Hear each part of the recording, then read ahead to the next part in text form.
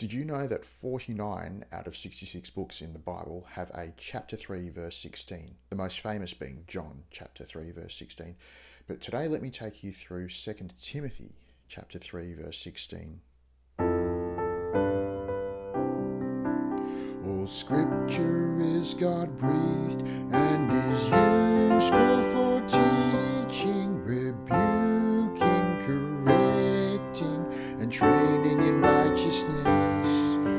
scripture is God breathed, second Timothy 3:16.